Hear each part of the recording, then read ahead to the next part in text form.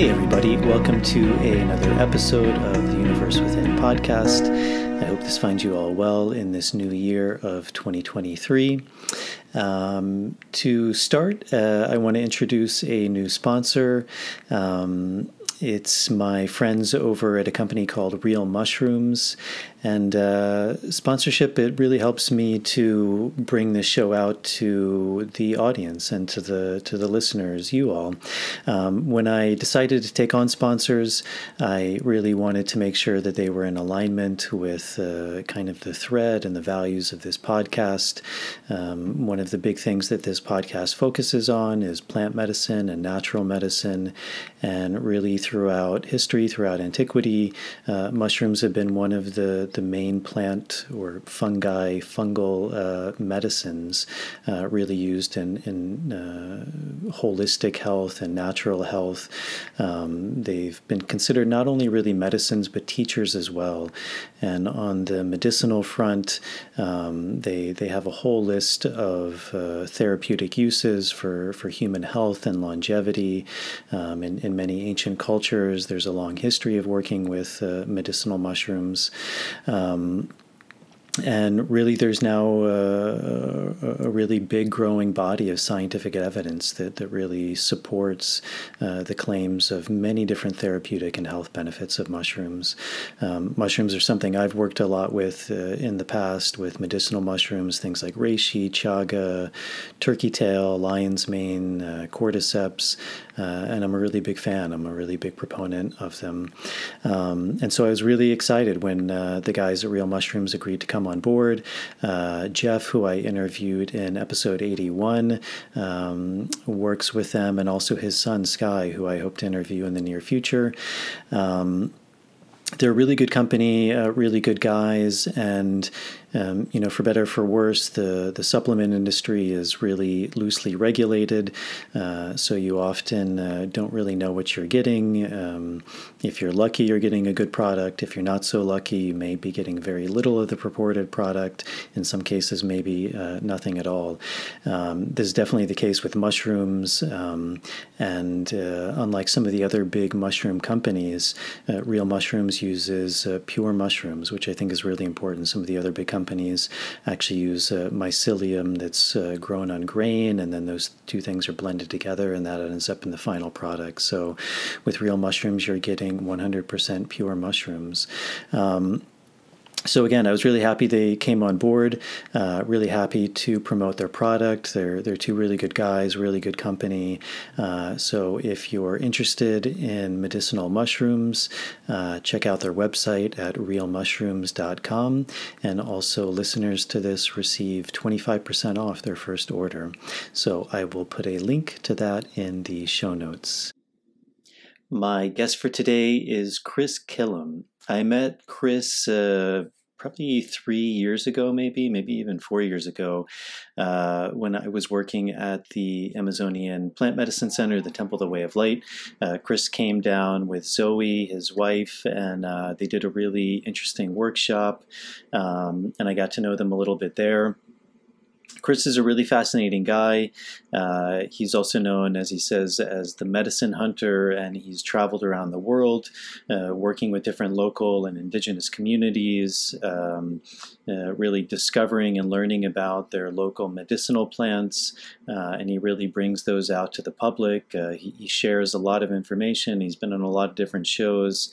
Um, he's written a number of really good books. Uh, one is a really popular book called The Ayahuasca Test Pilot's Handbook, um, kind of about the preparatory recommendations of working with medicines like ayahuasca.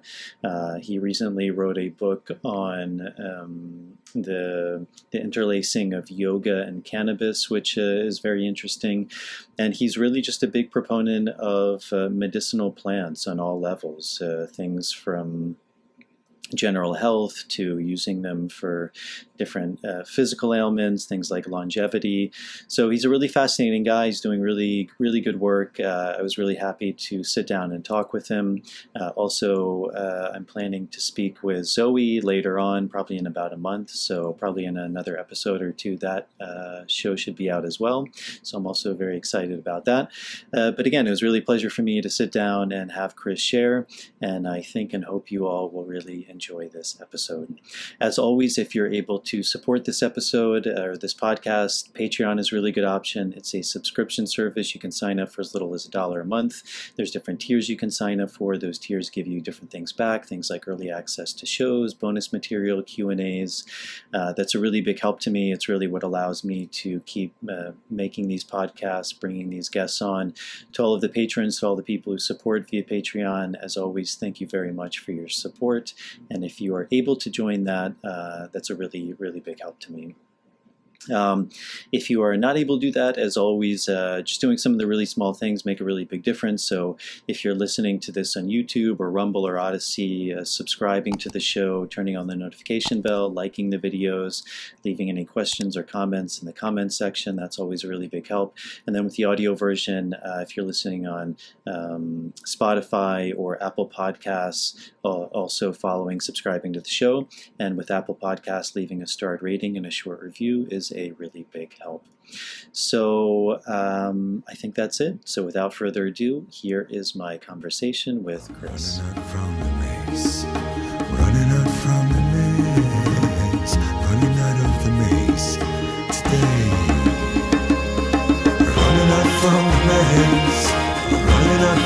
maze, running out of the maze today. Running out from the maze, running out from the maze, run out of the maze today.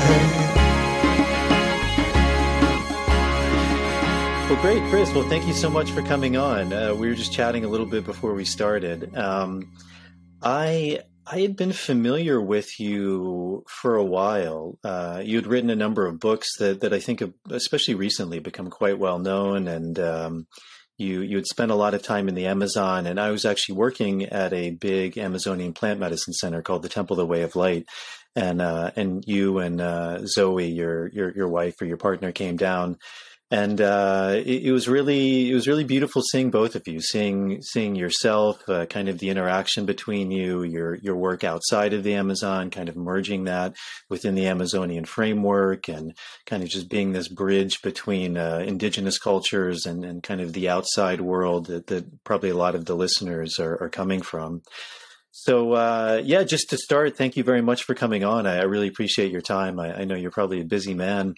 Um, I would imagine a lot of the listeners have heard of you, and and I, I, would imagine some of them haven't as well. But maybe just to start, if you could uh, give a little bit about your background, who you are, where you came from, and, and what got you started in this this very interesting path that you're on.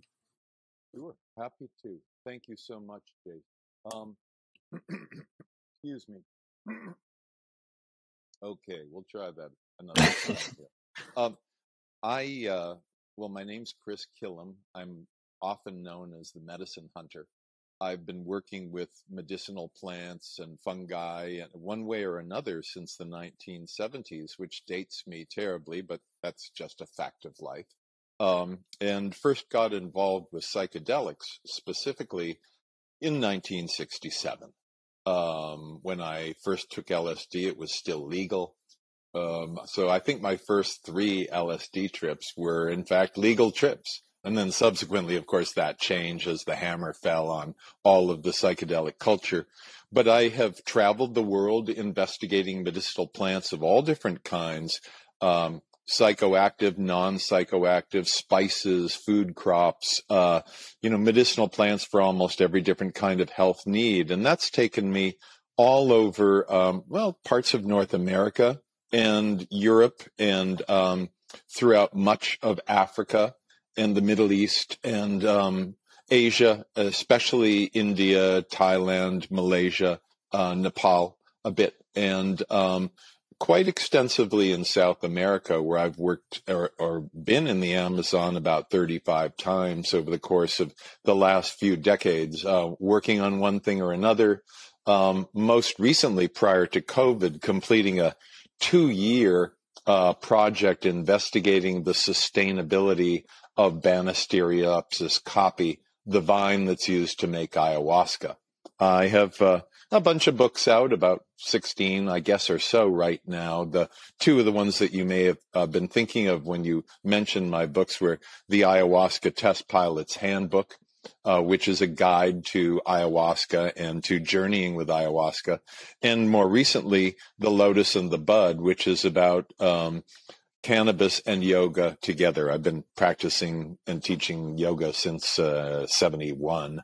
Um, so in any case, uh, my my background is really holistic health with a focus on plants and working with indigenous people all over the world. And I do help to establish sustainable trade in botanicals. So, you know, if I'm working with maca growers in the Peruvian Andes and the idea is get them the best deal possible and help to support organic methods of cultivation and, and that kind of thing and help, help the communities to grow and thrive and prosper, even as we on the market end, you know, reap hundreds of billions of dollars from these agents.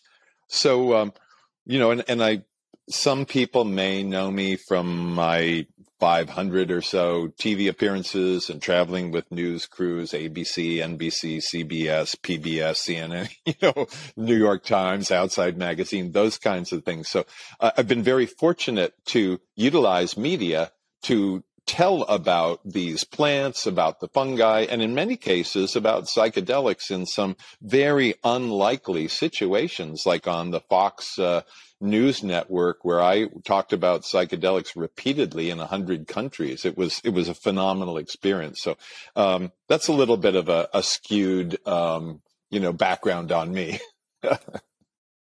So when we before we started recording, we, we were talking about this interesting aspect, which uh, you were saying, kind of within this realm of plants and medicine, you, you didn't necessarily just jump into it on, on the more psychoactive end, which I think a lot of times now, interestingly, in our cultures, when we talk about plant medicine, people's minds automatically go to, oh, they must be talking about ayahuasca or some hallucinogenic plant, but you actually started with these more uh, kind of for lack of better words, common plants, plants that are used as medicine, as herbs. What what was it that got you interested in that that medicinal quality or, or that that noticing? Because I think for a lot of people, there's even a disconnect uh, between realizing that plants are medicine and and they're they're they're right. a daily medicine. Well, you know, it's funny that the term plant medicines is grossly misused and abused and misunderstood by a lot of the psychedelic community. Plant medicines means coffee. It means eucalyptus. It means peppermint. It means rosemary. It means thyme. It means ginkgo. It means echinacea. It means psyllium seed. It means cocoa. It means at least 50,000 plants and innumerable fungi that we know of. Um, plant medicines are definitely not limited to psychoactive or psychedelic medicines at all those are subgroups of the much broader range. And what you and I were talking about, uh, my, my opinion is that there's great advantage to having a broader understanding of plant medicines overall, how human beings have co-evolved with these, you know, biologically and even, you know, physiologically over time. And they suit, suit our needs, whether it's something that decongests clogged sinuses or you know relieves uh, constipation or you know sends you on an eight hour journey out into the screaming abyss. I mean whatever it is you know um, we are biologically suited to respond to plants. Without plants we couldn't live. There would be no life without plants. We wouldn't breathe. We wouldn't eat uh, you know there would be no life period and so I, I do find it advantageous to have a broader base of plant knowledge, though I understand some people, you know, wish to focus on psychedelic uh, plants and fungi specifically, and, and they're certainly welcome to do so. Yeah. When uh, when you worked with LSD the first time, and, and, I guess, like you said, we can openly talk about it because at that time hmm. it was legal. Hmm. So, uh, what, what was there something that that happened in that experience that uh, that you still remember to this day? Well, I mean, you know, sometimes people describe these things as like a, a, a shift in reality or a shift in cosmovision, or they, they see something new for the first time. Or was there something there that intrigued you that, that you think a, kind of piqued your oh, interest in going deeper? Yeah. Well, first, first of all, this was 1967. Okay. Uh, I was 15. And, um, we did not know anything about so-called microdosing. Okay. All the LSD that was popular at that time, white lightning, Monterey purple, blue cheer, orange sunshine, speckled barrel, window pane. These were all 270 micrograms per hit. So they were real, you know, dive into the deep end, not dog paddle in the shallow end kind of psychedelics. And at the time, LSD was very much in the news and people wanted people I knew wanted to know about it, and we were constantly reading, you know, magazine articles, and there were news, uh, you know, stories about LSD, usually very um, deprecating stories. You know, this stuff will make you crazy. It'll scramble your chromosomes. You know, you'll have 17 limbed babies. I mean, it went on and on and on. Anything they could throw, anything to make the dirt stick anything they could throw at the wall to try to convince people not to try these things um, was not enough of a counterbalance to things like the doors of perception and, and some other things that were available. So some of my friends and I were eager to try LSD, and I got the opportunity to do so. And in response to your question, I mean, first of all, I remember absolutely everything about that day, not just a few things. But um, you know, this didn't just open the doors of perception for me. It kicked them down and broke the hinges right off of the doorways and splintered the doorways to pieces.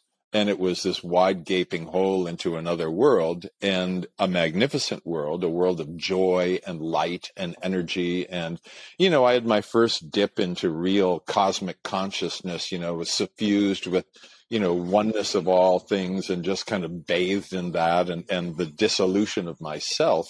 And, um, you know, I wasn't especially eager to run out and just immediately do it again. I, I wanted to absorb that, but um, it was a beautiful experience and totally profound. And I realized, wow, you know, these crackpots on the news, they're hosing us. A, they've never done this themselves. And B, they don't want to, us to do this because there's nobody who's got any control over this.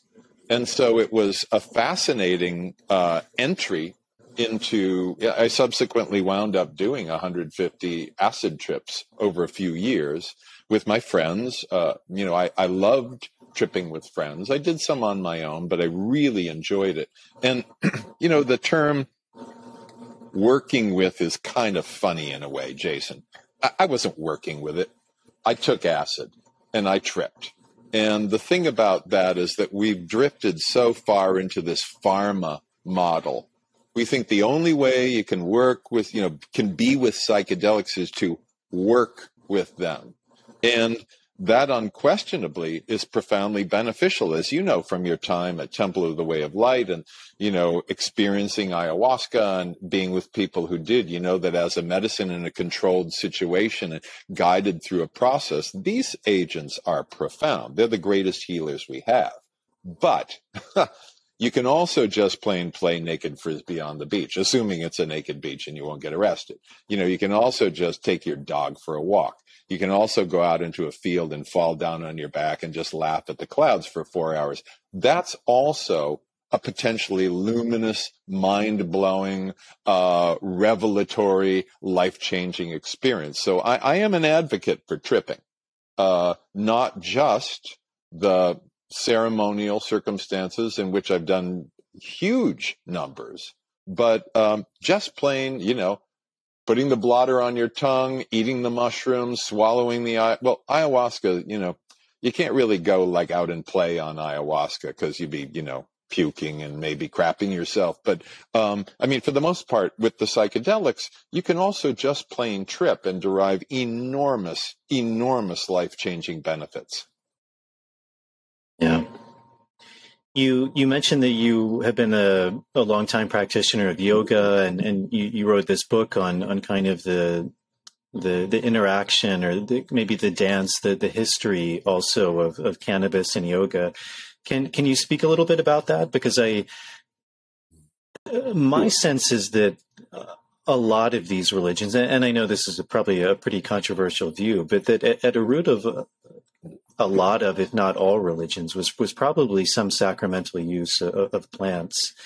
Um, but but this this interchange uh, between something like yoga and and how you find that that fits into this world of of, of plants, um, and, and, also just that idea of cannabis as a plant medicine, because I think a lot of people you know, cannabis is an interesting thing. It, kind of like LSD you were talking about. It, it used to be really widely known and used, and then for a long time it was demonized, and now it's kind of come back hmm. with a vengeance also. But now there's there's maybe kind of the, the opposite worldview that cannabis can cure everything and it's a cure all, and there you know there, there there's no potential downside to it. So it's a very fascinating plant, and, and, it's interesting because in, in some of these indigenous cultures, like you're familiar with in the Amazon, they they often say that the energy of cannabis is, is quite tricky. Um, although I, have also heard it beautifully said that that cannabis isn't tricky; it's the human mind that's tricky. but uh, but yeah, maybe just your thoughts on that because I think that's a that's a fascinating interplay between yoga and cannabis. Well, I I became intrigued with yoga when I was a little boy. I used to sit in full lotus for long periods of time. I didn't know why. I used to go in front of the TV and get myself into plow pose and watch TV upside down. I have no idea why I did that, but I did it a lot. And um, you know, yoga I, I, once saw a movie, I think it was a Robert Mitchum movie, and there was a guy in full lotus sitting on a table and he was in a trance. And I was sitting there, I was like just this little kid, and I went, I know that somehow. I, I don't know what that is. I know that. I know that thing this guy's doing. Um, and so I had a natural pull to yoga practice and started in my teens. And, um, you know, I've continued practicing daily to this day. It's been uh, 53 years now of daily practice. And um, I also, as a teenager, you know, was introduced to cannabis after LSD. I very first time I ever got high on anything, I did 270 mics of white lightning, and that was that revelatory trip. Um, subsequently, got high on cannabis and said, "Hey, this stuff is great. this is what people are talking about." Um, I did go through many years where I did nothing with yoga practice but yoga, no psychoactive agents of any kind. Um, but in general, in general what, what, I've seen I've that seen there that uh, is a, we're getting an, we're echo. Getting an echo. Uh, it's yeah. feeding back. Let me. Don't know what. Let me just is. check. From from your end, it's actually good, but yeah. uh, is that better?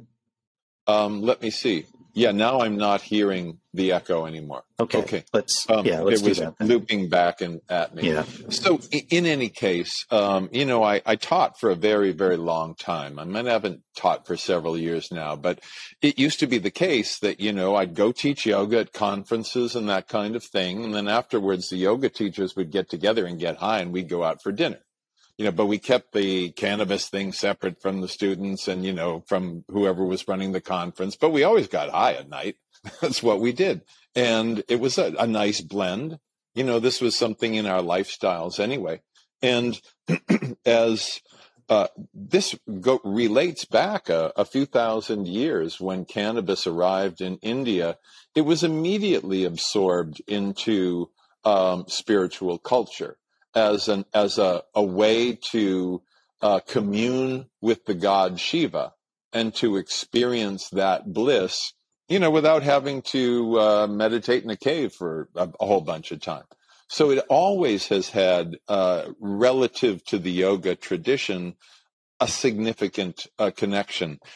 is cannabis a free ride and nobody has to worry about it and it can do no harm? No, of course not. Um, there's no such thing. You know, you eat 100 apples a day, you'll die. Okay. Apples aren't toxic, but you'll die if you eat 100 apples a day. Um, you know, so you want to be, um, you want to be careful and, um, conscious about your use of cannabis. But in fact, the way the endocannabinoid system, the re- receptors in our bodies are set up, um, and their relationship to the respiratory system and the nervous system, yoga being a practice of the nervous system after all, um, you know, there's a very good um, mutuality between cannabis and yoga practice. And I had seen, you know, that there were some titles out there on the topic, and I thought that there were areas of both cannabis and yoga that had not been included. And I always like to provide more information, not less. So I decided to write The Lotus and the Bud. And, you know, fortunately, it's been well received. Um, you know, I my best selling yoga book of all time is The Five Tibetans, which is in 28 languages. And that's basically a 12 minute per day practice of five exercises that really infuse you with energy and vitality and help your balance and you know pretty much help all organ systems. So my involvement with yoga has been very deep as i've passed passed through you know various uh, psychedelics. And uh, i felt that you know i had a background enough to speak to the relationship between cannabis and yoga. How would you describe yoga uh, from you know your many years of practicing now because I, think yoga is also another one of these topics where people have very different uh, ideas about it. Um, but I'd, I'd, be curious to hear what after years of practice and, and also all these different modalities that, that you've gone through what your kind of what your understanding of yoga is. My understanding is that yoga is a conscious current that runs through human history and that it calls to us. Um, you know, when people say, Oh, I've decided to take up yoga, that usually means yoga has decided to take up you. Um, and so I think that this force throughout history is something that we can enter into with a variety of methods and techniques. And what I said before about yoga being a practice of the nervous system as we are, in fact, at present incarnate beings, anything we do, you know, we, we interact somehow using our bodies. You know, we eat, we use our taste buds and our gastrointestinal tracts and our metabolism and on and on. Yoga is a practice of the nervous system. Uh, energy in the body flows through the nerves, flows through the plexuses, the nerve bundles uh, that align with the spine that people refer to as the chakras. They're identical. Um, you know, and with yoga practice, you learn to tap into that energy, be more aware of that energy, uh, and move that energy uh, for a variety of purposes, including expanding consciousness. So uh, I I understand yoga as a current running through humanity, and our participation in it as yoga picking us up as we go along. And and also, you know, what I think is that we need things that can keep us open and expanded. You know, as we go through our days, we have all this stuff we have to do. I mean, even if it's just you got to remember to brush your teeth and floss and, you know, gas up the car and check your bank balance. I mean, on and on and on and on. There's stuff. And there has to be something that we can do, or many somethings we can do to keep an expanded sense of the interconnectedness of all things, to the interrelationship between all things, to the actual lack of divisibility between anything at all. Uh, yoga acts as a reminder and a refresher and an ever deeper dive into that consciousness. It's it's interesting. Um, also, before we started, we we were talking very briefly about because uh, I was mentioning going back to Peru, and th- there's a very divisive political situation there now, and and and I think we see that all over the world. It uh, maybe it's always been like that, but but it seems like we're we're living in a time and uh, where things are very divisive. It, it, seems like there's this kind of polarization, and interestingly, as we have access to probably more information than we ever have before, it it, also there's an aspect of that that can also enhance that division because we can begin to really see the world through all of these different cosmovisions and kind of find uh, find this own unique cosmovision. And one of the interesting things i mean even the word yoga uh, often has to do with this idea of union or, or yoking coming to the center the, the name of many of these these these sacred plants often uh, it's a similar thing. It's, it's this idea of, of union or, or, or knowledge or wisdom.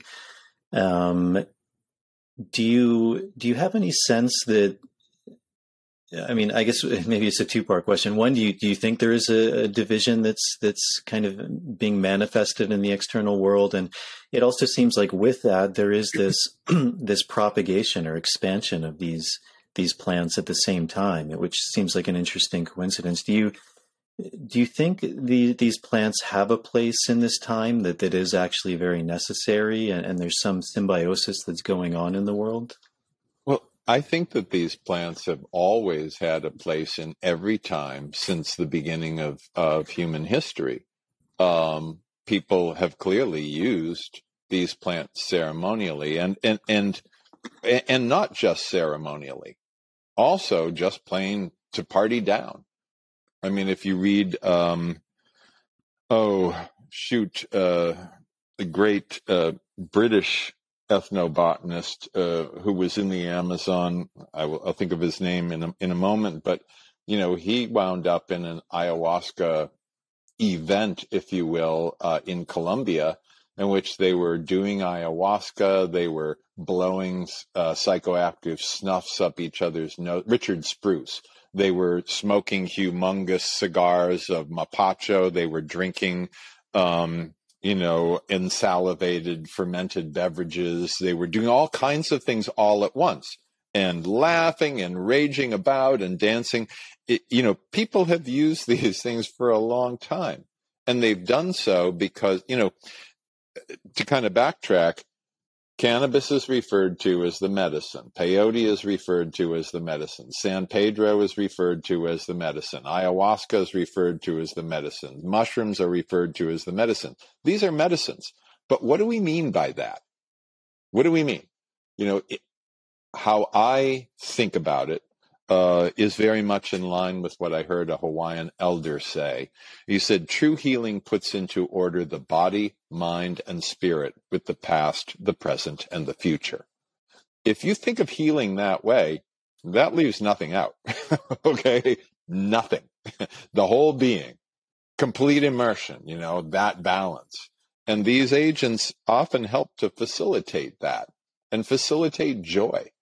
You know, you see people say, "Oh man, you know, my friends and I did mushrooms last weekend on the lake. It was the most amazing day."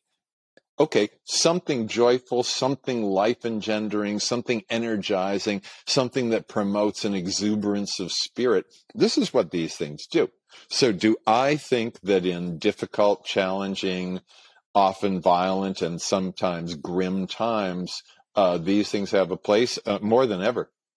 More than ever. What I don't like and I don't want and I resist and I write against constantly is the pharmaceuticalization of these things. Um, you know, even though LSD, for example, came out of the Sandoz labs, um, you know, it was taken up much more readily by a non-therapeutic culture, even though it had a very, very good background of use in the 50s as a psycho, you know, psychiatric agent uh, and in the early 60s. But um, fundamentally, we need these agents and we need um, societies that support cognitive liberty and don't tell people what they can and cannot experience in their own minds. I mean, you know, uh, Terence McKenna once said, you know, each person their own Magellan in their own living room. Yeah, we definitely need these. Uh, these help to you know, in some ways counterbalance some of the very, very difficult, challenging things that are happening all around us. Yeah.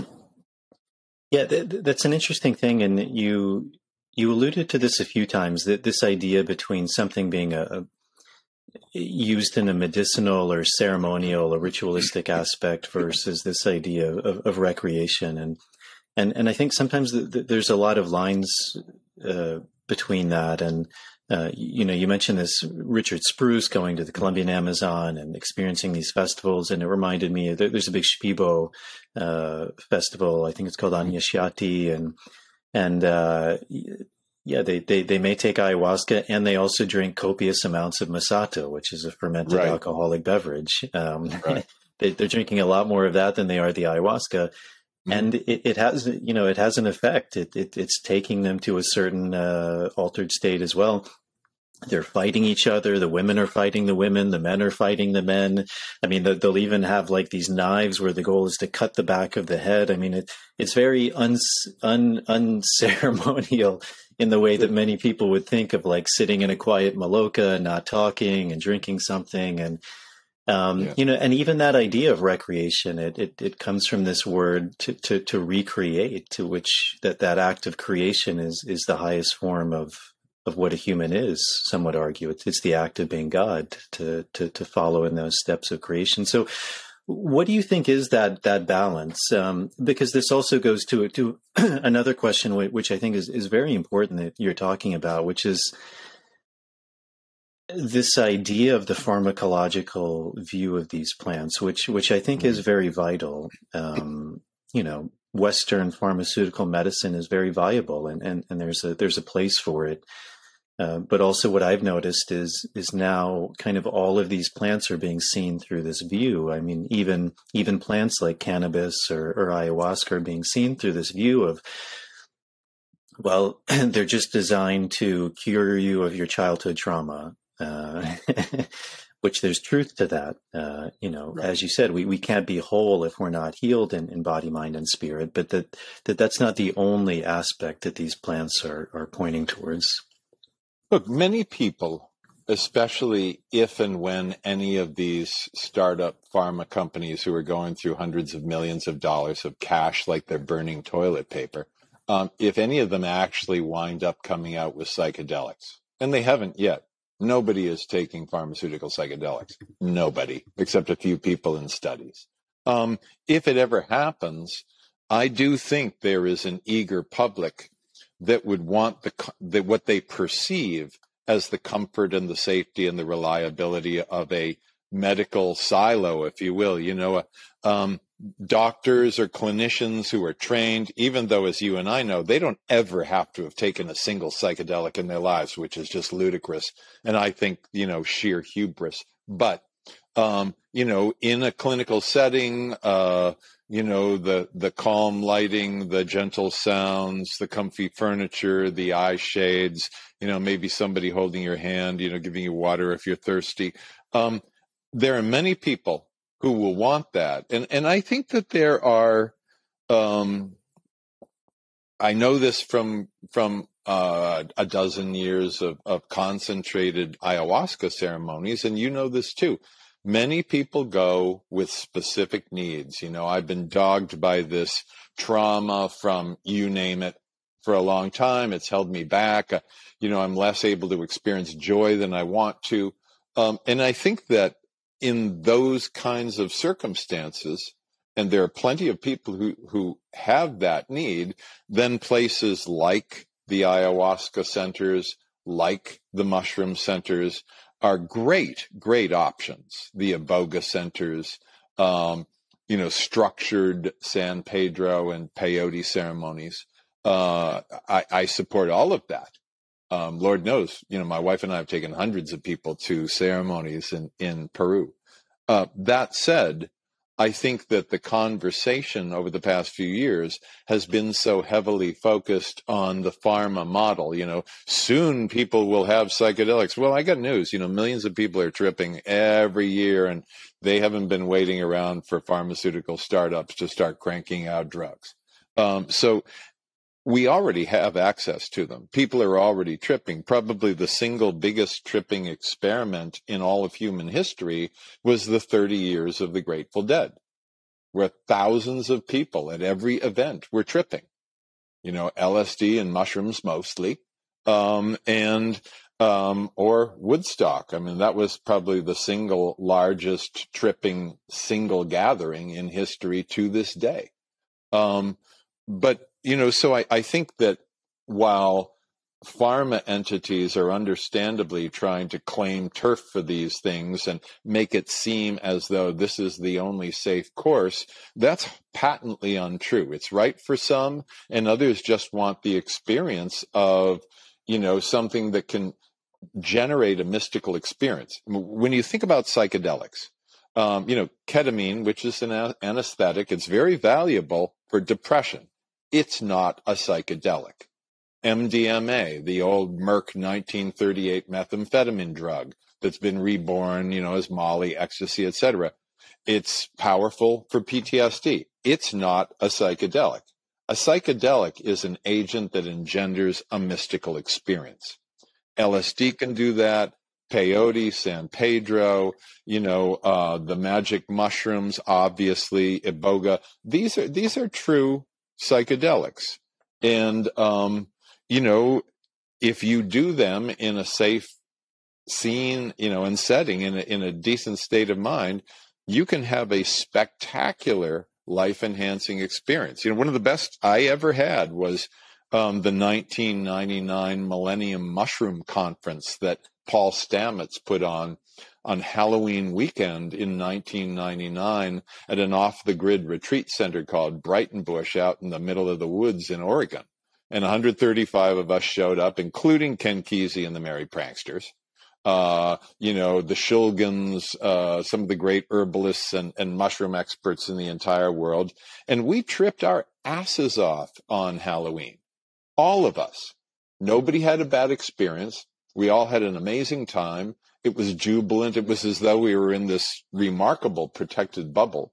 And it was extraordinary. And nobody was taking notes and nobody was wearing eye shades. And there weren't any clinicians going, now tell me about your experience. What are you experiencing right now? There was none of that. It was us having this remarkable time and all being so wholly supportive of each other and so all embracing that it was just plain ecstatic from beginning to end. And we can't afford to lose that. We can't afford to lose that use. We can't afford to cede that territory to companies that, you know, want to take $10 acid and make it 350 or $750 acid, you know, in a clinical silo. That's just bullshit. So, so you know, get me going. Okay. do, do you think this pharmacological, because a lot of people argue that this pharmacological model, uh, especially using these things in, in what's often described as psychedelic assisted therapy, is kind of a step in the progression of, okay, well, they'll be legalized for you know medicinal use much like marijuana was. These psychedelics will be used in a clinical setting and then one day maybe they'll become legal for recreational use. Do you do you see that as uh, as likely or do you think once these things kind of enter the realm of, of regulation and, and working in this very specific model that that's then where they're they're likely to stay? I think that any pharma company that gets approval to make a psychedelic will immediately hire 10 or 12 full time lobbyists to live on K Street to fight any legislation that even hints at legalization of these things to defend their patent positions and their profits. That's what I think. I mean, I, I have worked for and with pharma companies. I've been on the inside of that animal, you know, and, um, no matter what they say about it's a new day of healing, it's a brand new time for, you know, they've been saying that forever. They said that with our, with antibiotics, which proved out to be life-saving drugs. They've said that with vaccinations, which proved to be life-saving drugs. Um, you know, but it's always with pharma. It's always, you know, a new day when they first came out with uh, SSRI antidepressants. You know, we're changing human history. I mean, the message is the same. The message hasn't changed. We're doing a brand new thing here that's going to alter the course of medicine forever, and we're going to charge a fortune for it. And we're going to go after anybody who tries to violate our patent turf because ultimately this is about shareholder value.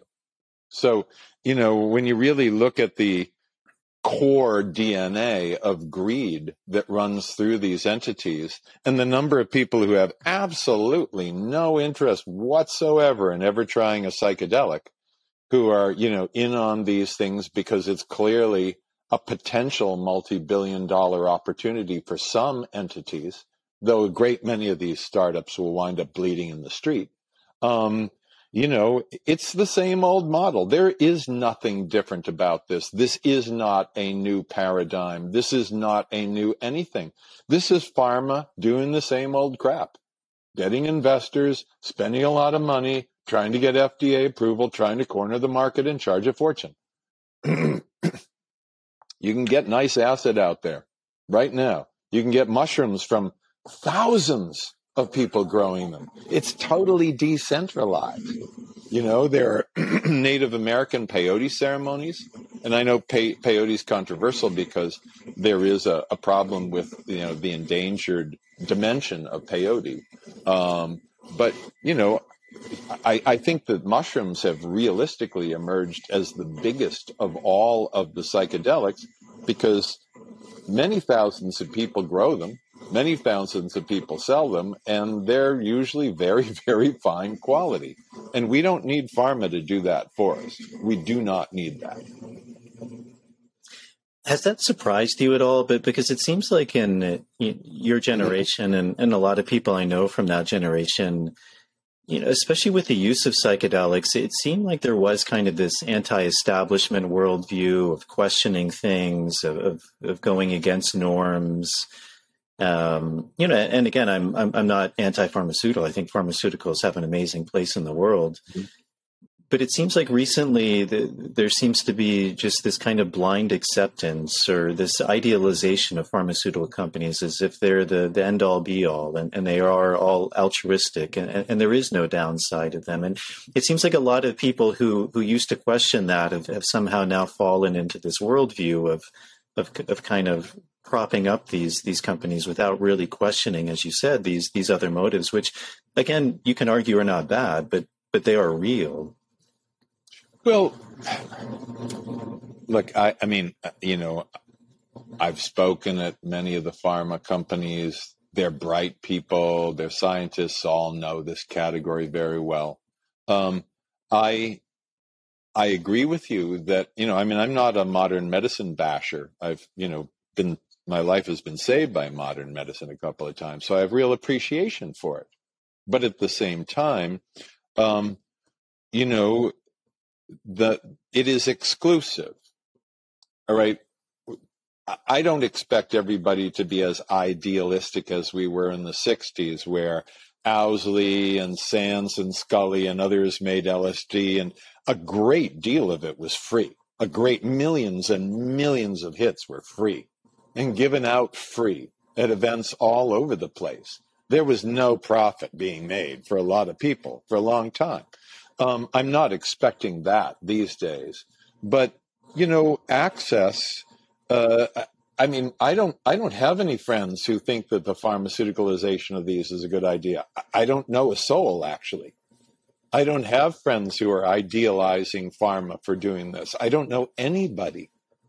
I mean, I know Rick Doblin, excuse me, and he, you know, he's definitely an advocate of the pharma model and declared at the World Ayahuasca Conference, much to my surprise, that MAPS is fundamentally a pharmaceutical company, which blew my mind because I didn't think he'd ever said that before. Um, but I don't know people who are idealizing this. I know people who are just shaking their heads and going, God, that's awful uh, while still respecting that some people will want that clinical silo and they should have it available to them. Yeah. So when when we met, uh, we met uh, in the Amazon uh, at an ayahuasca center, and ayahuasca is a is a plant or a plant brew that that I, I has become very popular within the last mm. years. I, I remember even when I started working with it, probably I don't know, 13 years ago or something now. Uh, I was living in New York, and if I used that word, no one had any idea what I was talking about. Uh, and now people message me that every weekend there's a ceremony in Brooklyn, and uh, you know people want to come to the Amazon. Um, maybe could you you talk a little bit about that that plant, the the plant brew? Uh, what is ayahuasca, and and how you sure. found it, and and uh, maybe how it's affected you, and also if you have any ideas of, of why that plant in particular, also along with mushrooms, as you mentioned, seem to have become so popular in, in, in this time we're in. Well, I, I, think that, I mean, ayahuasca is the only combinatory uh, psychedelic. That is, it takes two plants.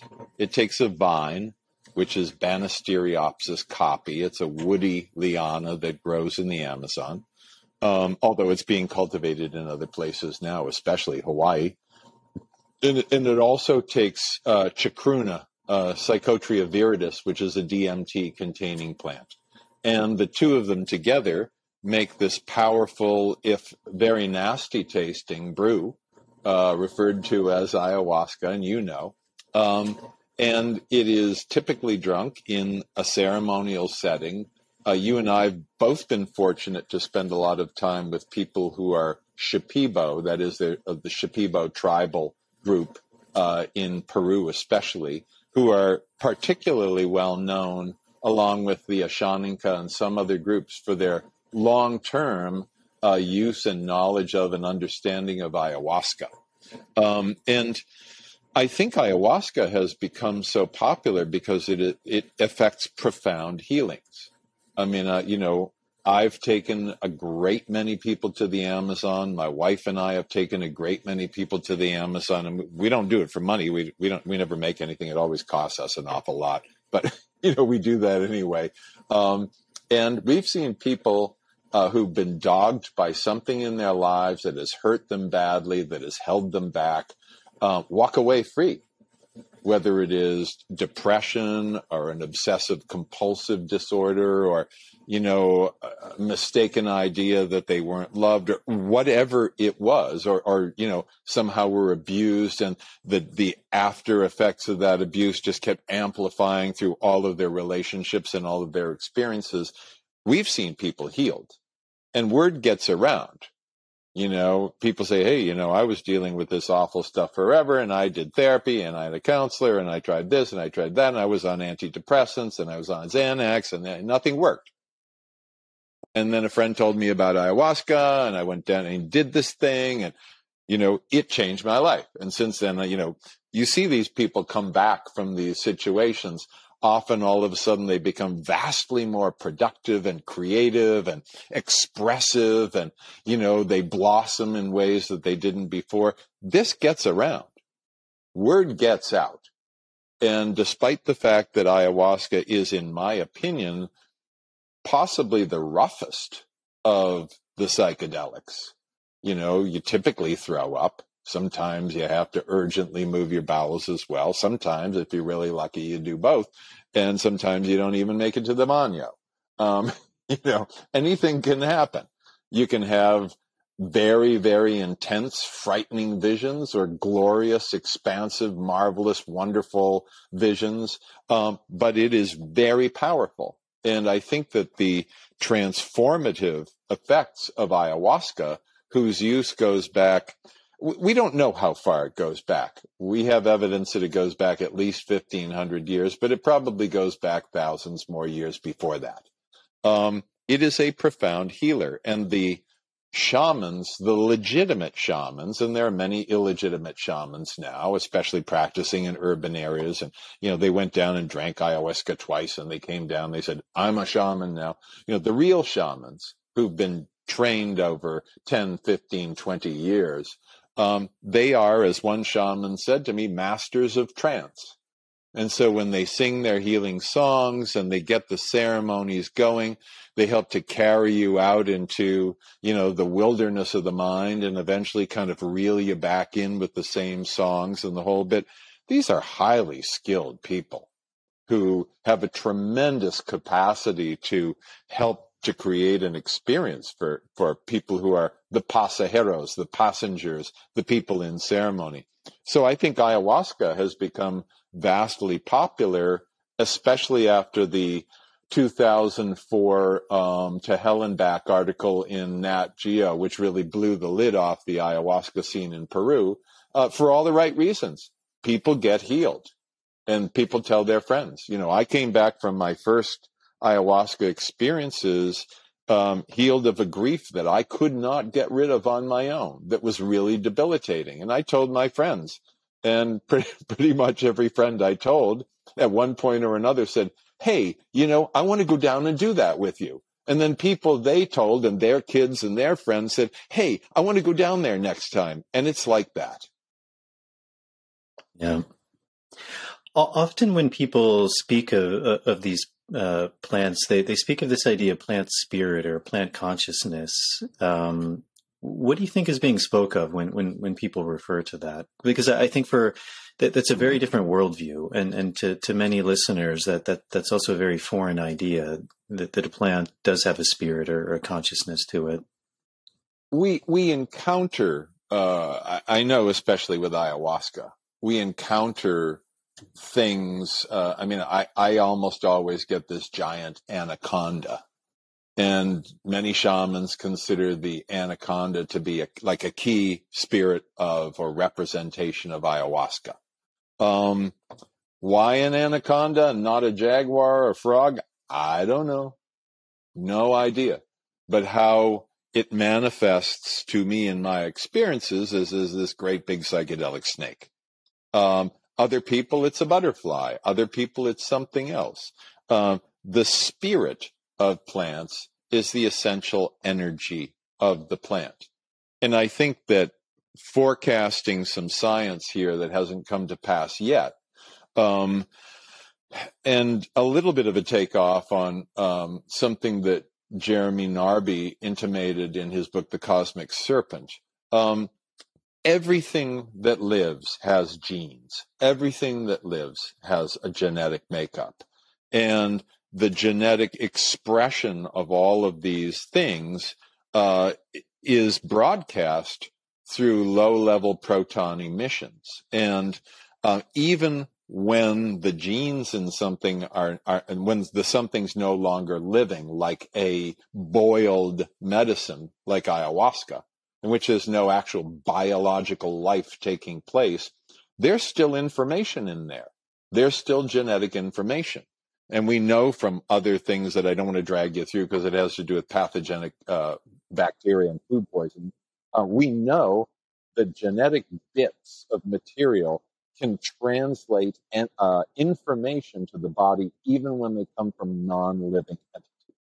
So what I think we're going to discover eventually down the road is that what we're calling spirit is actually the aggregate genetic information of these particular plants and fungi, which is unique to those plants and fungi. Um, you know, right now we, you know, oh, it's a grandmother, it's a grandfather, it's a, it's an anaconda, it's a jaguar. Whatever floats your boat, if it if it fulfills you, if it satisfies you, if it if it in some way um, settles some sort of matter for you, that's great. Um, but I believe that is all interpretation through our minds, which are vast and clever and, you know, so broadly sophisticated. We still don't have a hold on that. Does that answer your question? Yeah, that I think as good as anyone can. Yeah. okay. Okay. You're so when, thing. Sorry. Spirit is the essence of the thing. Mm-hmm. Yeah. So when when you wrote this book, the the ayahuasca uh, test pilot's handbook, um, what do you think that what was the message you were trying to convey? Uh, because I, I, think it's a it's an important point is um, actually that that people may need to know things before they begin to to work with these these. It plants. was the Boy Scout motto: "Be prepared."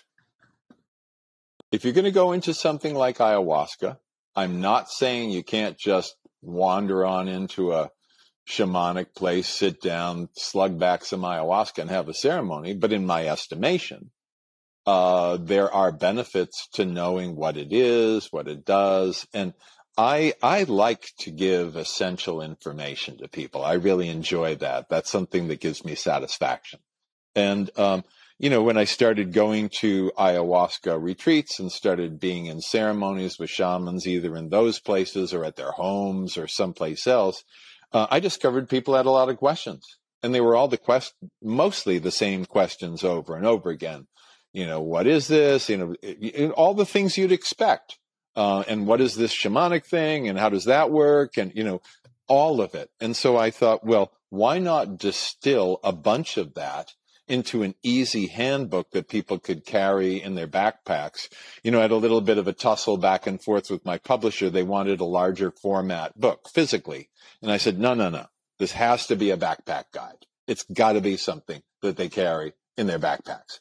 And that large five by seven or whatever, six by nine, that's not going to do it. Um, so it's a smaller cut size book. And it really is designed to give you a kind of a crash course in many of the basics of ayahuasca. It, you know, it is in and itself not complete. Certainly, you can write about this all day and night for years at a time. But I wanted to give people the basics so that when they did go to ceremony, they had some background. And I've been fortunate that people have been very kind about it and saying, "Oh, you know, I read your book and it." made a big difference when I, you know, first went to, you know, name it, whatever, Nihue Rao, Temple of the Way of Light, Blue Morpho, whatever it is and it it helped me a lot. It helped me to be better prepared, and that's really the idea. Are, there a few points that, that maybe you could mention to, to some of the listeners, things that you you consider to be really important? Well, I think it behooves everybody to realize that shamans are not perfected saints. Okay, these are people who are highly skilled, who also have life problems. You know, they may not have enough money to pay their bills, or, you know, their kid's sick and they need to get antibiotics. I mean, you know, eh, they're people having lives who are highly skilled and highly trained in assisting in these ceremonies. And do not idealize these people. Do not allow them to do things that you should not allow them to do. You know, there's been a lot of sexual impropriety in some places um, you know, approach these people as the genuine, legitimate experts they are, and also keep your wits about you. Um, if you're going to go someplace to uh, in, engage in ayahuasca ceremonies, well, check their reputation there are plenty of places now online where you can find out, oh, you know, don't go to this guy, you know, all he wants to do is get into your pants or, you know, this person promised me they'd help heal my mother, you know, invisibly over a distance and all they wanted was money. I mean, you know, there's all that stuff. Um, and also I, I think, you know, expect if you're going to, uh, go to do ceremony, if you're going to drink ayahuasca, expect it to be very, very powerful generally extremely positively so. Sometimes it's a rough ride, but expect that. Don't go in thinking it's going to be just kind of like another day at the beach because it's not going to be that for sure. And be prepared to uh, transform your life in positive, wonderful ways. And even if, you know, I mean, I've had some of the most nonsensical experiences in ayahuasca ceremonies ever, you know, like these giant robotica figures that appear and they have these huge tomato can heads. They make no sense to me. They have no meaning for me. They show up periodically. I don't know why. you know, but at the end of the ceremonies, I'm usually feeling like really wonderfully well put together. So don't expect every single thing you see or hear or feel to somehow be like the most intelligent thing in the world or make sense because often it doesn't. Yeah. Were Were you a Boy Scout? I was a Cub Scout, and then I, I did a couple of months of Boy Scouts, and I thought it was just, it was not for me. I thought, oh, the, it, it, you know, I didn't have the language then, but it came off too paramilitary, and I wasn't interested mm-hmm. in that. I had a gas as a Cub Scout, you know, doing stuff. You know, you get whatever merit badges for climbing a tree. I can climb a tree, you know. So Were you a Boy Scout? I actually was, yeah. It, it, yeah. it, it was quite paramilitary, uh, especially because yeah. I grew up around DC, so there was mm. a lot of a uh, lot of military sure. influence. yeah, sure, sure. um, so now one of the, the main things you, you do is, is, is going around the world and and sourcing uh, different medicinal plants from from communities. How did you find your yourself in, involved in that work?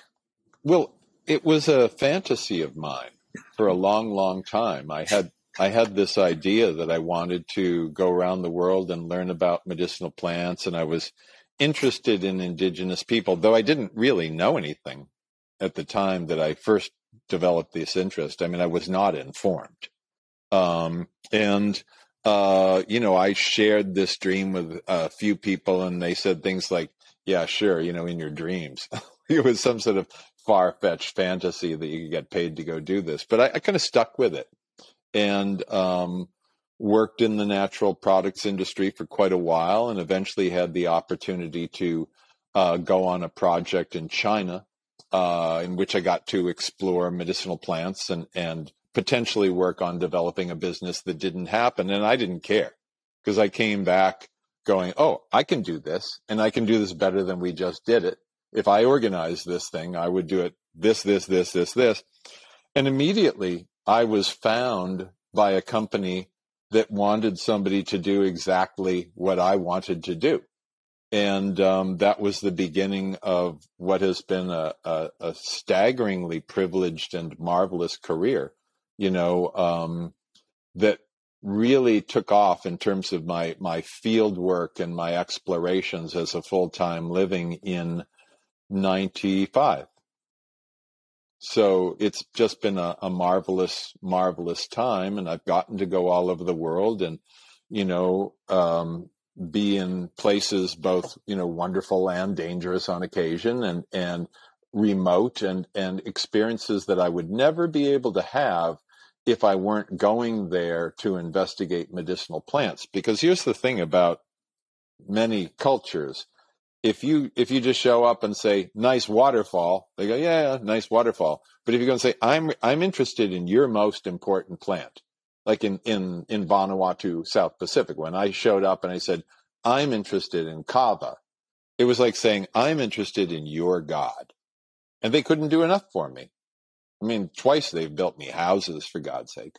Uh, they really can't do enough um, you know, when I went to uh, Peru for the first time in 98 and, and said to maca growers up there, what would you think about maca uh, being a popular product in the United States? They were like, whoa, do you think that's even possible? I mean, is that just a dream or, you know, it, you, you, you get in deep with many of these people, when you express real and legitimate and sincere interest and appreciation for their most important plants, whether it's cocoa, whether it's coffee, whether it's maca, whether it's kava, whether it's ginseng, whether it's ayahuasca, you know, and then they open up their world to you, especially if you're respectful and considerate, and I am, because they're the experts and I'm not. Um, so this has been a, a, a, wonderful engagement for me for a long time. And I've been able to share about, uh, to back up a little bit. And the first time I lived in the Amazon uh, with Indians on the river was in uh, 97. I was there for a month living with these Ipishuna and Krinikoru Indians right on the river. I mean, actually on the river uh, in in a stilt house that had water like about an inch underneath the floorboards, and um, so you walk off the front porch and throw yourself into the Amazon. And we went around meeting shamans, and they were kind of confused by that because they're like, "Why would you want to meet shamans?" I was like, "Well, because they're great healers who have a lot of knowledge." And uh, we got to this one woman, Maria Sina. She was 103 years old and sharp as a razor she was so bright. And she looked at me and she said, You bridge the worlds. You tell people about each other. This is very important for you to do. It was like listening to a granny, you know? And uh, she said, Look, you know, people don't understand each other. There's a lot of misunderstanding out there. You have to tell people about each other. So part and parcel of all of this work that I do around the world with indigenous communities is bringing back the information, the stories, the photographs, the video often, and sharing that with audiences, whether it's in, you know, popular media, um, you know, news organizations or articles or seminars and presentations to help to not only promote the use of safe, natural plant based medicines, but also to promote the interests of people who would otherwise largely go unknown, unseen, and unheard. It's it's interesting. I there's a guy who I have a lot of respect for. His name is Amika. It, it's a title, and he comes from a group of people called the Tubu people in the Colombian Amazon near the mm-hmm. Apaporis River. And um, for those people, they, they have a story, kind of a prophecy that, that the age we're entering, they call it, uh, um, these people, they call them the Diro Amasa. It's often translated as the children of the new dawn. Mm. And it's said that it's, it's people who can bridge the medicine of the four directions to create mm. a new hmm. Maloka. and for those who don't know, Maloka is not only kind of a ceremonial house, but a living house, but it's also a representation of the earth, of the universe. So mm-hmm. it's th- these people who can bridge the, the medicine of the four directions to create a new earth. Yeah. Uh, and they say these people are kind of multicolored. You know, they're not like purely indigenous anymore. They've they've begun to mix themselves, and that's why they're able to to bridge uh, uh, worlds. And and also in, in, that culture, it's very fascinating because they they put a lot of emphasis on the story.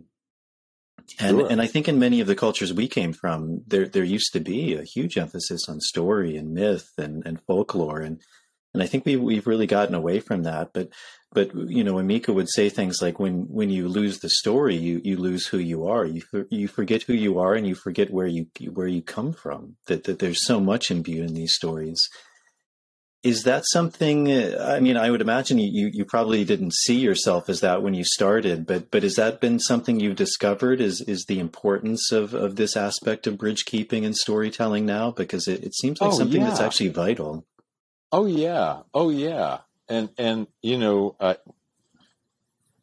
I, I worked on a project in which we came up with a, a phrase that is sort of apropos of, of what you're saying. It's it's one tribe, one vibe.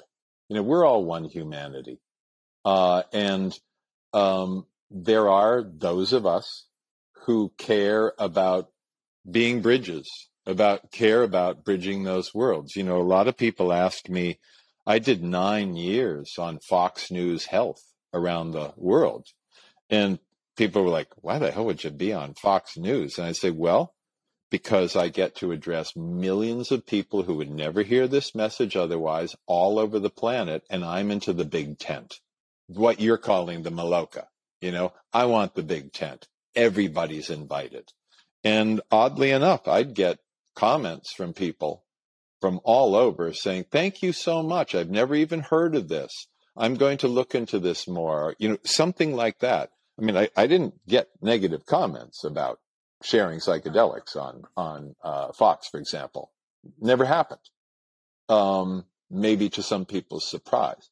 So yeah, I believe very strongly in bridging worlds, uh, in creating greater understanding, uh, in you know embracing humanity. I mean, whatever you know, whether people are, are wearing shoes or they're barefoot or they're black or they're yellow or they're white or they're whatever, you know, they've got some sort of particular religious background, whatever it is, we're all human beings here. And we are all on this planet. And we either contribute to a planet that thrives and prospers, or we contribute to a planet that degrades and, you know, engenders more suffering. And I'm much more interested in the former than the latter. And I think that a great many people these days uh, see that, you know, divisive models fail. Not that they're going to stop anytime soon, but they really do fail and they cause pain and suffering. And that the more inclusive we can be and the more humane we can be and the more loving we can be and the more compassionate we can be, the more understanding we can be, the better world we live in. I mean, I've, I've been, you know, I don't know how many Muslim homes I've been in. I don't know, dozens. I've only ever been treated with kindness and courtesy and respect, you know, and, and in, and in, you know, Syria and Lebanon and Malaysia. And I'm not just talking about like, you know, somebody's house in Dallas or something. Um, and that's, that is something worth sharing because right now there's a lot of you know anger and resentment you know about uh, people who are Muslim when really it's a it's actually Muslim extremists who do a disservice to that whole religion. Um, so yeah, bridging worlds critically important. Being you know interested in all of humanity, regardless of the color, creed, all of that, it's essential, or we don't survive with or without psychedelics. We don't survive if we don't do that. When you started uh, going to these places, did, did, did you have an idea of, of certain plants that you were interested in and, and then you, you further discovered them there? Or were there times too where, where you just completely discovered something new uh, by, by talking to the local people there?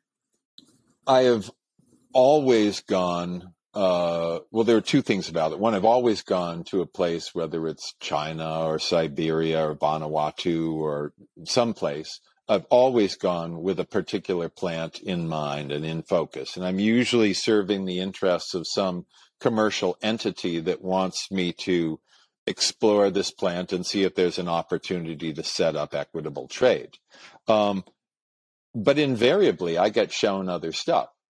I mean, I didn't go to Peru, for example, to take a deep dive into coca leaf, but you go up into the Andes to investigate maca, and at every turn there's coca. Okay, so what's that about?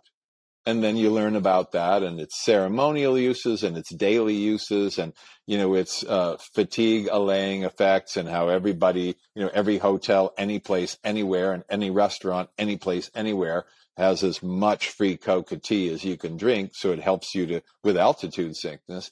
I didn't go for the coca, but I wound up becoming knowledgeable about coca as a result of that exposure. When I went to uh, Siberia first to investigate Rhodiola rosea, a very profoundly beneficial plant that's good for energy and vitality and reducing stress and enhancing mental clarity, I was introduced to a bunch of other plants um, by the same people, and it radically expanded my knowledge. So I, I always go with a plant in mind and always wind up being introduced to other things. And the second thing is I never do this work by myself. I always have a group of people with me, usually a driver or a boat captain, somebody in trade, um, maybe somebody who's a local native or more than one somebody who's a local native if it's a native environment um, maybe another botanist sometimes a government agent you know all it's always a constellation of people. It's not me showing up like with a red cape on and going i'm here. You know it's it's more a whole group of us working together to see if we can create something meaningful that will benefit people in a particular place and be good trade and be something that will help them to support their families better and eat better and live better lives and also benefit the market, which is constantly hungry for good, beneficial, health enhancing things. What is your sense on the, the I'm not sure what the, the word might be, but the, do you think there's, to what degree do you think uh, plants have been studied by by indigenous people, and are there still plants left to be discovered? And then, I, I guess, to a lesser degree, to, to the world at large, do you, do you think things have been saturated, or there, there's still a lot to be discovered? Well, native people. I once had this great experience. We're up the uh, Rio Negro in, in, Brazil, where we met this guy. Uh, I think his name was uh, Hilbert, and he was a shopkeeper. And we told him we were interested in plants, and he was in this little little village off the river. And he said, "I'll I'll take you around," you know. And he took us around the forest, and he showed us about I don't know three, four, five dozen different plants. And he would stop constantly and say, "Look, I'm not an expert, okay." I'm just a guy, but you know, we grew up with this stuff. If you want a real expert, you should come back and talk with so and so. But the fact of the matter is, he had a vast knowledge of medicinal plants, really vast. It was very impressive and kind of funny too, you know, because he kept insisting that he didn't really know that much. Um, indigenous people typically know a lot about plants because they rely on the plants as foods, as medicines, as fibers to build their homes, you know, I mean, for ceremonies, you name it. So they have to know them. I have watched native guys make a backpack out of plants in two minutes. Repeatedly in the Amazon. They go, oh, wait a second, I, I need to be able to carry stuff. And they'll go to certain plants and bam, bam, bam. And you watch them make a backpack with straps in the whole bit so they can toss something, you know, pick up something, throw it into the pack behind them. A good, sturdy, solid, this isn't going to fall apart backpack. And you go, wow, holy smoke, that's amazing. Or watch women weaving, you know, roof materials for, uh, you know, palm roofs. Um, yeah, they know a lot. Is there more to discover? Certainly. Um, but they know more than anybody. The native people know more than anybody. So rather than, you know, going to a piece of forest like Merck did in the 90s and testing every plant there and running it through high throughput machinery to see if they could find medicinal compounds, the smart money is go speak with shamans and healers. What do you use for a bad stomach? Oh, we use Karapana Uba. Let me show you Karapana Uba. You know, let me show you. Oh, we got something for pain in the joints. Yeah, let me show you that. They know a lot. But yes, of course, there's more to know. Still more to know. When, when you're talking about plants, uh, you, you use this word sustainability. Uh, what do you consider important sustainable practices? And uh, not just for yourself, but but uh, I think it's it's a concern more people are having of, of themselves how to be more sustainable in, in the choices they make. Look, in a sustainable system, all parts thrive and flourish, and that is an ideal, and it is rarely a total actuality. Um, you know, in a sustainable system, for example, we wouldn't be polluting. I'm fully aware that when I fly to Africa to work on a project, I'm flying in a jet and that's polluting. I know this to be so. I can't do this work if I don't. Um, we all make compromises. You know, you buy a pair of blue jeans someplace, somewhere, somebody made dyes that are in those blue jeans that may not be squeaky clean organic and that potentially, uh, you know, pollutes some water someplace or creates some problem that has to be remediated.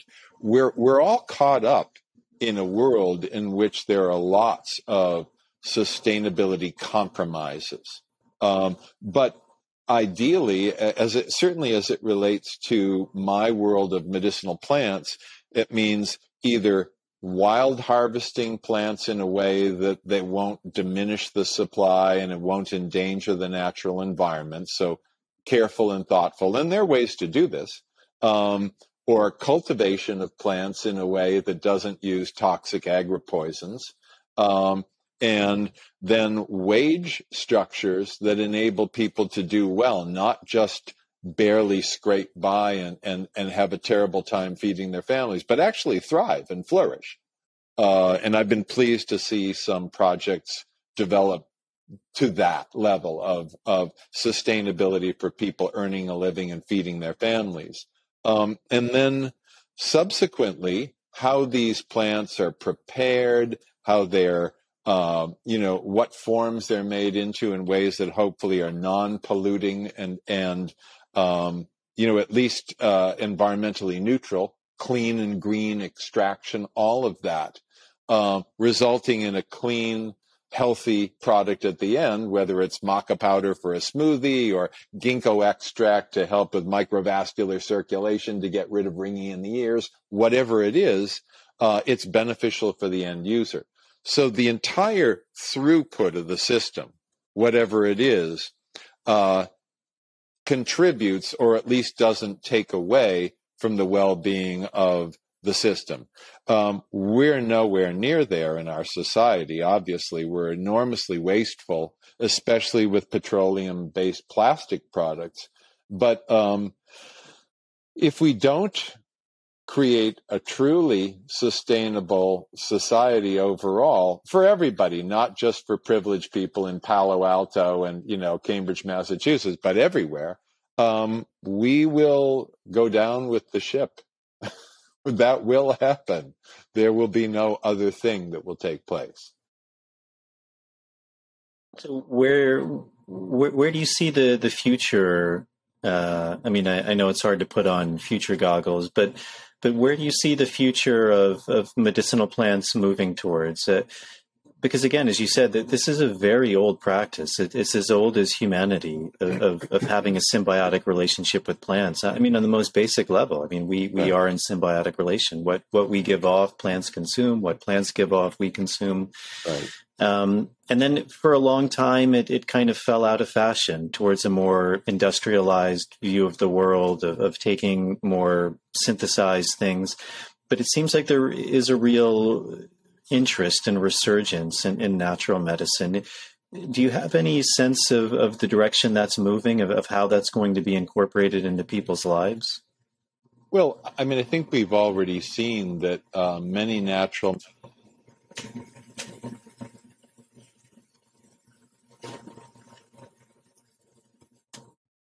Chris, These are garbage. Chris, uh, yeah. Sorry, your your audio just cut out for a second, but it's back oh, okay. now. Okay. Yeah.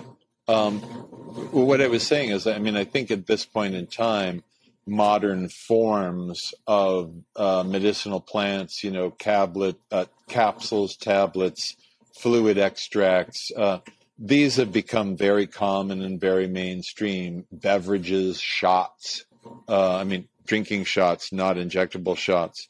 Um, and at the very same time, we're also seeing a resurgence in the kind of wholesome sort of home preparation approach to herbalism.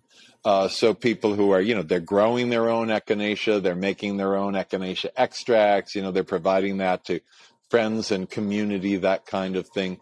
Uh, I, I, think we're going to continue to see a mix. Um, most people don't want to make a career of these things.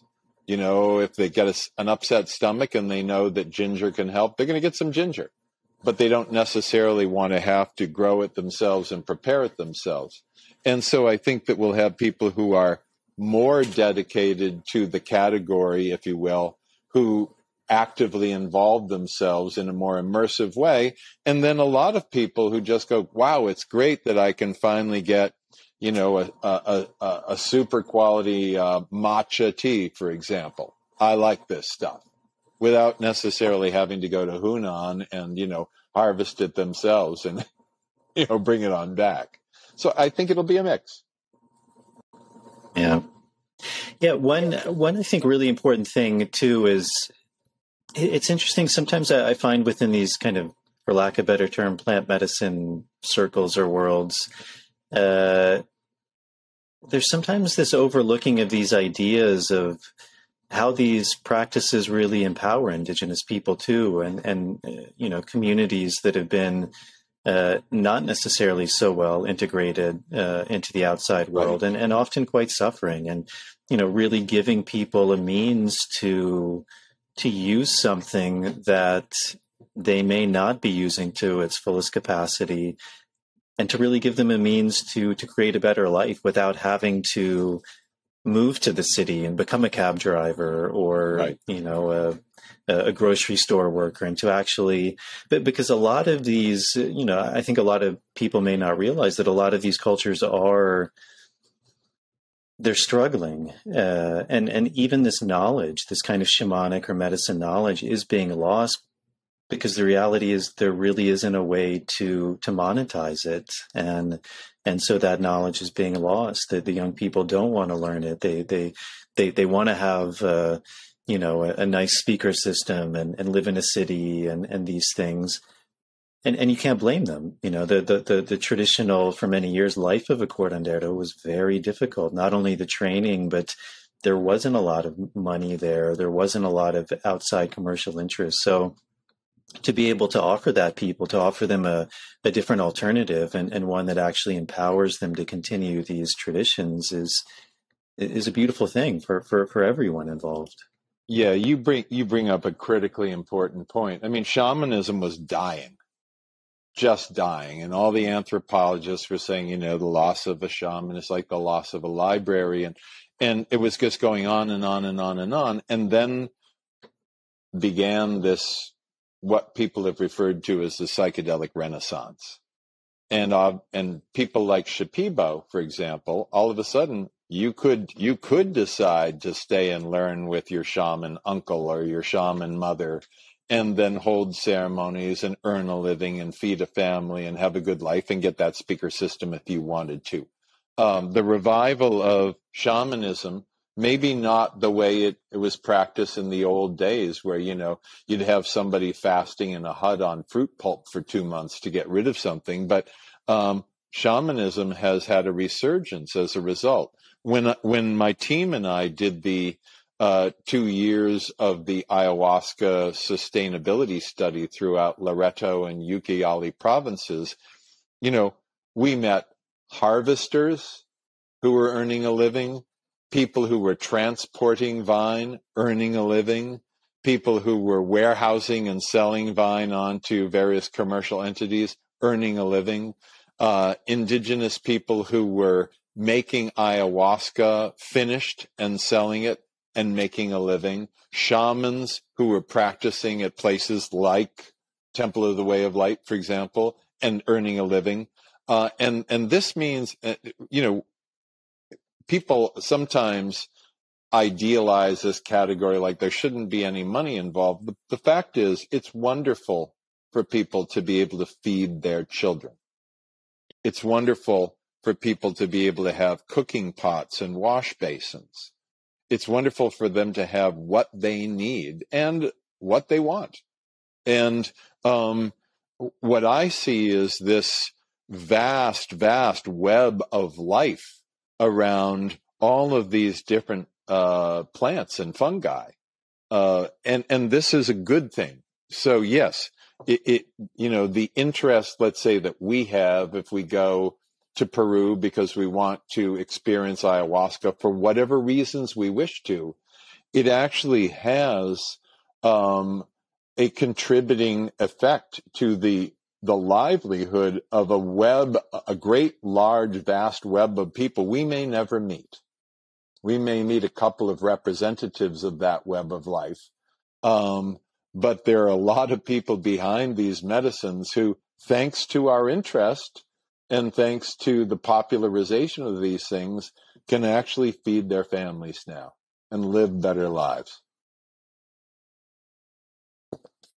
Yeah, that's a beautiful metaphor too. The the, the web of life. I, I, I think sometimes we we can get in the habit of looking at things in a very simplistic way and, and forget about yeah. the the truly awesome in the true sense of that word, web of life, which is just the absolute interconnectivity of things is is incomprehensible um, oh, yeah. at its root. I've gone back to projects periodically that started off where I was dealing with people living in crappy conditions, wearing tatty clothing with kids who, you know, didn't have school supplies in communities that were very, very run down. And to watch over the years, to watch their quality of life improve and the kids are healthier and, you know, people have better clothing and the homes are, are better and they have electricity and, you know, toilets. I mean, things that we take for granted, you know, native people don't necessarily just love to shit in the woods. It's just what they've got. Um, and the fact of the matter is that most people appreciate comforts. Most people would prefer to live a little bit more comfortably or a lot more comfortably. I mean, my friends in Vanuatu, they still live in bamboo huts and all of that, but they're grateful for cooking pans and wash basins and knives that are sharp and and outboard motors for their boats so they don't have to try to struggle against furious tides all the time. Um, you know, everybody should prosper in, in this equation. Everybody. Yeah. Well, Chris, this has been wonderful. Um, do you have any upcoming projects that you're working on, or anything you you'd like to share that uh, that that you're you're you're moving towards? Well, I, I actually I just got word of approval of a project that I can't talk about yet, but um, I'll be heading back to India in a few weeks to um, be part of a um, a group. Uh, basically, I have a client there, an ashwagandha client, and we're going to have a bunch of people come over to India, and we're going to tour them around and show them some things about Ayurveda and about ashwagandha specifically, and also um, take them for some, you know, sightseeing with tigers and a few other interesting things like that. So that should be good. I'll be going after that to the, uh, excuse me, the International Ethnopharmacology uh, Conference in North Northeast India, where I'll be speaking along with uh, a lot of other people who are speaking there. And after that, I'm not sure. Um, I may wind up getting to go uh, work on a rhodiola project in northern Germany a couple of months later. We'll see what happens with that. Sometimes, sometimes, excuse me, sometimes these things come up suddenly. So often I don't know what's going to happen a few months down the road. And that's the situation at present. Yeah.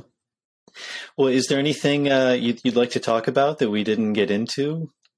I would encourage people to check out my website, medicinehunter.com. That has uh, a lot of information about medicinal plants, a lot of uh, images that I've shot uh, over the decades, and good links to you know different shows and to um, and to my books. But it, I'd also like to say that um, I think anybody who's interested in these uh, in psychedelics and uh, you know psychedelic plants and fungi, if you have the time, uh, consider a broader dip into the world of plant medicines overall. The many, many hundreds and thousands of them that aren't psychoactive, that aren't psychedelic, but are still critically valuable and, and beneficial to health um, that'll just broaden your understanding of of this whole category overall. And and you know, I hope that that as many people as pursue this can do it with joy and satisfaction because ultimately this is the life we've got. We either live it well and and happily if we can, or sorrowfully. And I always prefer the, the former, not the latter. Yeah.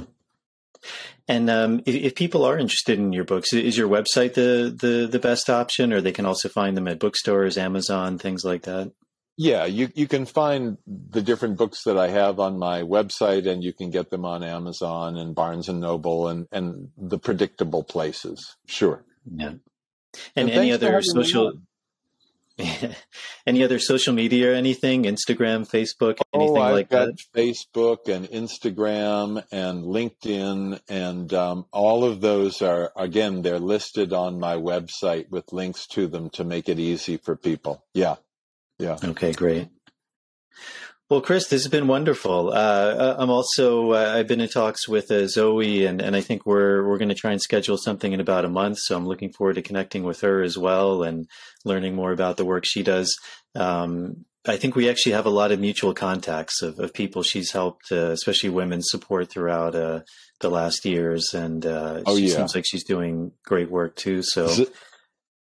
Yeah, Zoe's been phenomenal at, at bringing talented women forward and making sure that they get speaking positions in conferences that have been, always been all male and, um, you know, placement in some of the magazines where typically all men have written about psychedelics and making sure that there's more equality. She's been with her Cosmic Sister project. She's been a real advocate of that. So um, I think you'd find her enjoyable, and I'm sure she would find you as well. Yeah.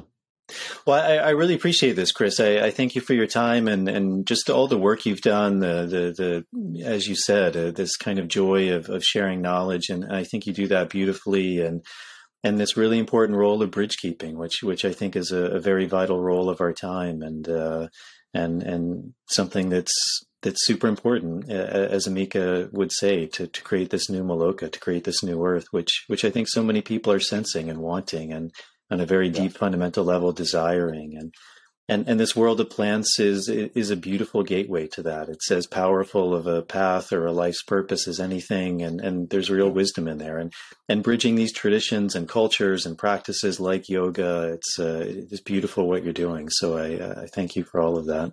Well thank you jason. It's been a pleasure and uh, perhaps we'll find ourselves in the same maloka drinking some glasses of ayahuasca together. You never know That'd be great. That'd be great. Well, thank you so much, my friend. All right. You take good care. Thank you. Bye now. All right, everybody. That's it. I hope you enjoyed that conversation with Chris. Uh, again, it was really a pleasure for me to sit down with him, have him share his story, his work, uh, the books he's written, uh, and just get a little more insight into him as a, as a person. Um, I, I, think he's doing really great work. So it was a, it was a, a pleasure and an honor to have him on. Um, as always, if you're able to support this podcast, that's a really big help to me. Patreon is a, a really fantastic way of supporting this podcast. You can sign up for as little as dollar a month month. There's different tiers you can sign up for. Those tiers give you different things back, things like early access to shows, bonus material, Q&As. To all of the patrons, to all of the, the supporters via Patreon, as always, thank you very much for your support. I very much appreciate it. And if you're able to do that, that's a really big help in helping me uh, to bring on these guests. Uh, if you're not able to do that, some of the small things make a really big difference. So if you're uh, viewing this, the video versions on YouTube or uh, Rumble, Odysee, uh, subscribing to the show, uh, with YouTube turning on the notification bell, liking the video, leaving any questions or comments in the comment section. All those things really help with these mysterious algorithms that are out there. And then uh, with the audio versions, uh, liking, uh, following, subscribing to the show, and then with uh, Apple Podcasts, leaving a starred rating and a short review. That makes a, uh, a really big difference. Apple Podcasts is still the biggest podcasting platform, so when it does well on there, it does better on the other platforms as well.